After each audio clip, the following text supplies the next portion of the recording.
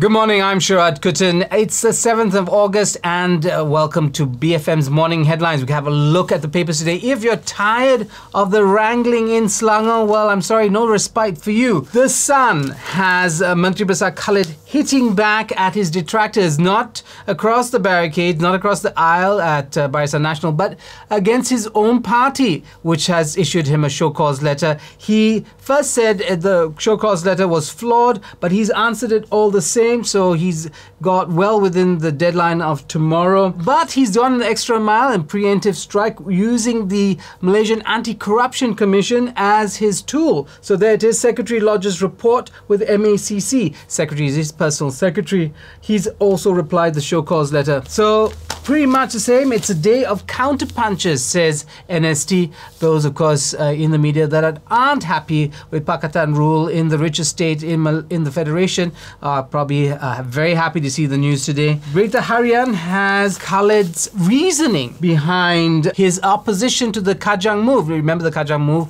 was because that forced by election that brought uh, Datuk Sri, uh, Datin Sri Wan Azizah into the State Assembly. But if you remember, he actually was leading the charge for PKR uh, in the state over the Kajang move. So now he says the move uh, didn't receive much discussion. He was just ordered to uh, lead the charge. It also says that uh, the reasoning was shifting and confused. And finally, he says that in fact, the resignation of the then Adun of Kajang, uh, Lee Chin Cheh, was undemocratic.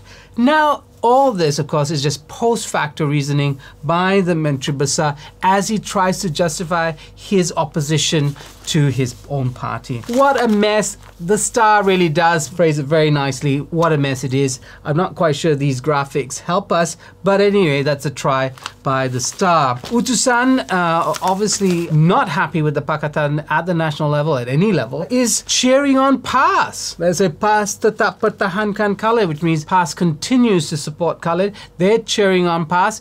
With the end game is, well, the breakup of Pakatan. Some sober voices in the media, would not PAS understand, I, I like to point to perhaps constitutional lawyer and commentator Shad Saleem Faruqi. Uh, there he is on page 26 of the Star. Might be worth a read. The Malay Mail, obviously and always descending into hyperbole. There descends into a farce, it says. Well, I'm not quite sure it's a farce. It, there's some serious issues behind this. Water chaos, dengue horror, MB crisis, filthy rich, dirty state. Potholes the craters. Well, is the hysteria and hyperbole justified?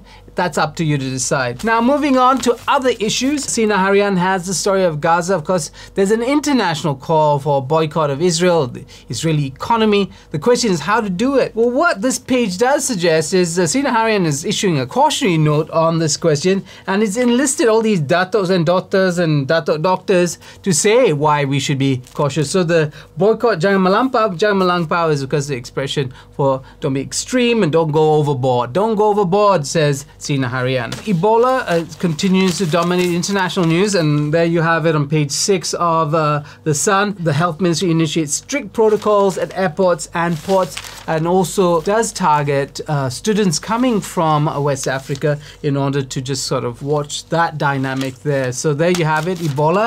Another issue that's very close to my heart is the uh, question of the death penalty, and there you have it. Rambo Bentong. I mean, you might think that he should be put to death just for having that silly name, but no, he killed a teenager, he's a serial killer. But is the death penalty a good way to deal with questions of this sort? I don't think so. But it's subject for, I think, a public debate. There you have that. At the end of the day, we have Harian Metro. Not very impressive front page, nothing to laugh at. So I'm going to not talk about it. And the word for the day is respite.